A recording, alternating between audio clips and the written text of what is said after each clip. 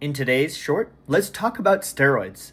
Not those steroids, but the steroids that we use in the hospital. I'm going to go through the basic ways to remember the conversion between all of them because there's so many different types. The best mnemonic for this is called damn the movie producer paid him cash. So the D stands for dexamethasone, and then from there downwards, we're going to go through all the steroids and actually show you the dosing equivalent.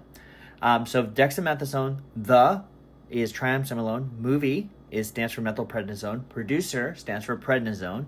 Paid stands for prednisolone. Him stands for hydrocortisone. And cash stands for cortisone. And now the doses are actually going to go from smaller to higher. So dexamethasone around 1.5 milligrams is equal to around 10 milligrams of prednisone, which is about 50 milligrams of cortisone and 40 milligrams of hydrocortisone.